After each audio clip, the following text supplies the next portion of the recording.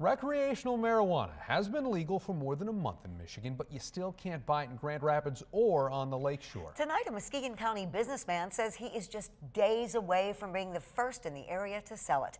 13 on your side's Almar Boss joins us now to explain how that could happen, Almar. Yeah, Juliet Park Place Provisionary currently sells medical marijuana, but that will likely change in the coming days. The owner tells me there have been some frustrating moments, but he says the constant phone calls and anticipation makes it all worth it. Have tents and food out back, maybe towards the end of July. Hello, Park Place Provisionary. The constant phone calls all want to know the same thing. We are not recreational yet. And they're telling me they're getting 50 to 100 calls a day or people stopping in asking if uh, we can sell rec yet.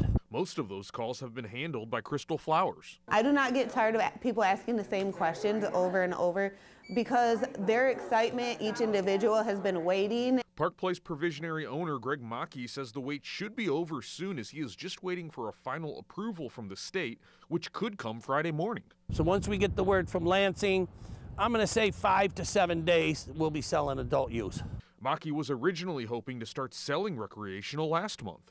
Right now, waiting on the license is frustrating to us. And with a handful of shops throughout the state racking up millions in sales, time is money. It's very expensive, and being locally owned and operated, um, you know, we have a limited amount of funds, and so uh, every day that we can't sell it, it, it uh, hurts our sales quite a bit. Long lines could be seen at other shops, and Mackey expects the same in Muskegon. We got uh, more inventory clerks, and we're just going to uh, adapt as you know as, as the people start coming in. And once Park Place receives their final approval from the state, they will be able to transfer some of their medical supply to recreational.